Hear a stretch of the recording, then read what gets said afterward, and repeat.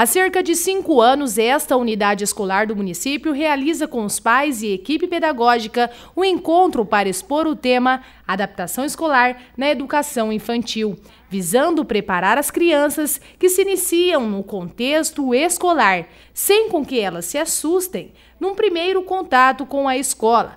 A diretora da unidade falou de como esta ideia surgiu. A partir do momento que nós colocamos a escola né, em, em funcionamento, a gente percebeu que há 10 anos atrás é, a, a, situação de adaptação que foi é, começando na escola, a gente percebeu que por mais que nós, educadores, temos a, a, o compromisso, temos os cuidados necessários para fazer esse processo de adaptação, é, nós percebemos que às vezes sempre existiam algumas falhas, né, insegurança, e com o decorrer dos anos a gente percebeu que trazer um profissional adequado, é, próprio, né, para trabalhar com as emoções, com certeza ia agregar um trabalho com muito mais segurança, e isso realmente aconteceu. A psicóloga da unidade escolar relatou que este é um momento de transição em que a criança vai se habituando à nova rotina longe dos familiares que tem como referência, e as orientações aos pais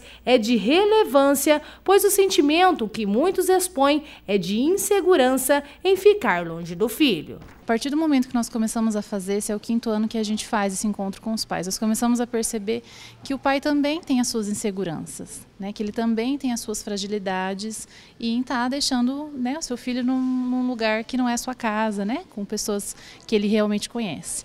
Então, é, este momento ele pode fazer com que os pais se aproximem um pouquinho da escola, né? deste ambiente onde o filho vai estar inserido, dos educadores, e também passe a desenvolver um pouquinho mais de segurança e passar isso para a criança. Né? Da mesma forma com os educadores, a gente também faz esse trabalho com os educadores. E a gente percebeu que quando nós vamos tendo um momento de diálogo com eles, eles vão também fortalecendo a sua segurança para poder receber essa criança e, e lidar de maneira mais segura.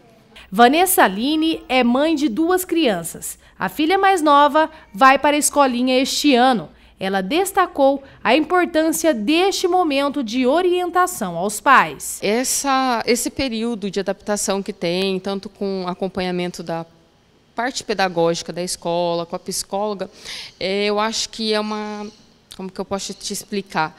É, deixa os pais um pouco mais tranquilos, né? Porque é difícil você vir para a escola e deixar seu filho primeiro, segundo, terceiro ano. É, é difícil.